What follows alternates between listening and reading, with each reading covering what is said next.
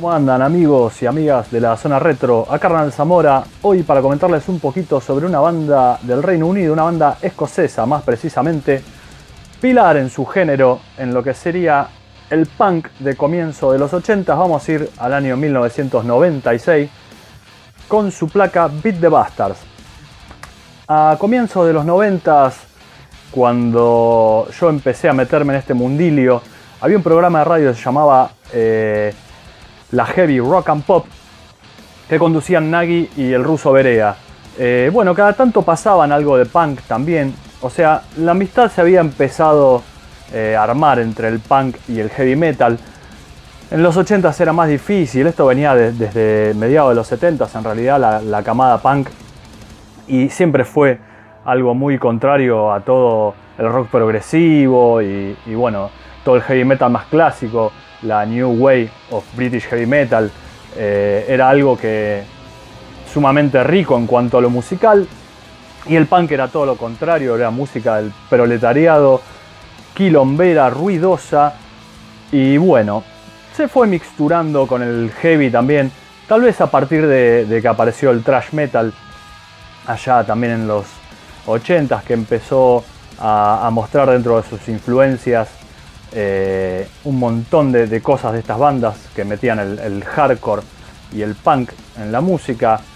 Sabemos que el trash venía del lado más extremo, más rápido de, bandas como Motorhead, eh, no sé, heavies más pesadas como Venom, pero había mucho, mucho de punk. De hecho, Metallica ha hecho cover de los Misfits, bueno, Slayer también tiene un disco directamente que son todos covers de bandas punks eh, Megadeth, Anarquía en el Reino Unido, los de los Ex Pistols. Se pasó un poco al heavy también, hizo Motley. Bueno, el tema es este. Que nosotros estábamos, viste, con el punk que entraba, que no entraba, nos gustaba, no, lo miramos medio costado. Había bandas más reconocidas eh, en la escena del punk. Obviamente los Ramones, una de ellas, que venía muy seguido de visita a la Argentina. Otra era Tito Tenhosen que eran como las bandas más tranquilas dentro de la escena.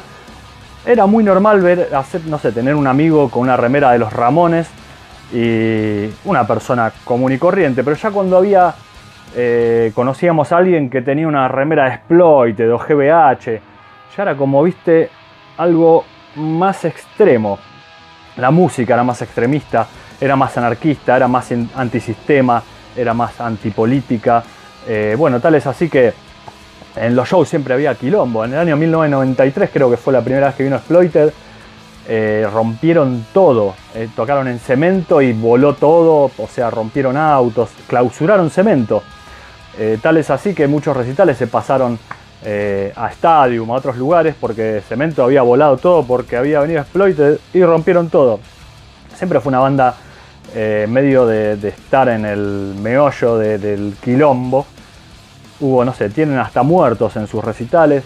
Se los acusaba a veces que eran, no sé, que eran, tenían medias cosas facho, tipo eh, gente skin que lo seguía, qué sé yo. Eso siempre dijeron que nada que ver, que sus letras nada tenían que ver con el nazismo y, demás. Pero bueno, siempre había, había problemas con esto. Es más, han ido a recitales directamente, le iban a pegar a los exploited, eh, grupos también más más radicalizados dentro del punk de izquierda, pongámoslo. Eh, siempre había confrontación, siempre había quilombo, pero bueno, siempre han negado ellos este tema. Otra cosa era que se, había una disputa, una pelea entre Dead Kennedy, por ejemplo, que tenía el nazi punk fuck off, que en un momento se decía que era para exploit, después nada que ver, ellos lo desmintieron. Pero bueno, por suerte no, en su música no podemos encontrar cosas de estas. Pero bueno, como les decía, era complicado eh, de, ver en vivo y todo, pues siempre había quilombos, eran recitales, mismo GBH también, que eran, eran de quilombo. Bueno, los Ramones, inclusive, me acuerdo una vuelta que vinieron que canjeaban tapitas de Coca-Cola por la entrada y voló todo en el centro, cuando tocaron en obras también, la gente arriba de los autos, rompieron todo, un quilombo.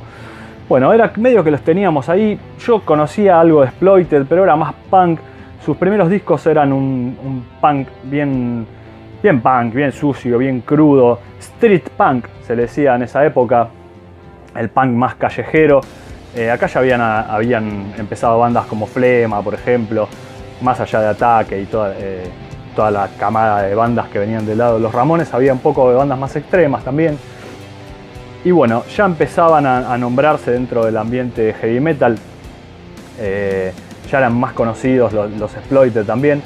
Porque a partir del año 1990 con su disco de Massacre eh, habían incorporado toda esta cosa del trash y del hardcore, se había hecho muy de exploited eh, y entonces la, gente más trayera y demás ya estaba escuchando estas corrientes, Ratos de Porao era otra de las bandas eh, brasileras que mezclaba el punk con el trash, el crossover y bueno, pero teníamos ahí a Exploited, no era que era nuestra, nuestra música, me escuchábamos algo, no nos molestaba, como les decía, el ruso Veré a veces metía eh, algo de punk, pasaba Exploited, pasaba eh, Kennedy, Ramones, a él le gustaba un poco eso y nos lo empezaba a hacer llegar. Obviamente era fanático de Motorhead. Motorhead dedicó un tema a los Ramones, tocaron juntos en Vélez, medio que ya se empezó a amalgamar la cosa, nos empezamos a hacer amigos del punk. Yo lo tenía ahí, no mucha bola, hasta que un día cayó un amigo, Pacho, eh, con este disco, con Beat the Bastards, el nuevo. Bueno, acá tenemos cassette, un par de ediciones, esta es una europea, eh, y esta es una edición nacional que, está muy buena, trae un live bootleg está, está muy, muy bien hecho, muy, muy lindo. Bueno, acá tenemos la tapa, ya la tapa era un poco menos, menos de pan corrosivo, ya había algo medio de colores medio Giger, más trayero y se notaba. Pusimos este disco, lo escuchamos y dijimos, esto está buenísimo. Exploite se había separado un poco de toda esa onda del, del punk más sucio, más mugriento y se había refinado totalmente en cuanto al sonido. No sé si acá también tiene que ver bandas como Pantera, no, ellos siempre lo tiran más para el lado del trash y el hardcore, que en esencia es lo que mezclan en su música, ¿no? Si bien acá tenemos un disco de Exploit que es totalmente reconocible, eh, lo escuchás esto, escuchás los primeros discos y es muy parecido en cuanto a la temática de las letras, obviamente, sigue siendo todo totalmente antisistema, quilombo.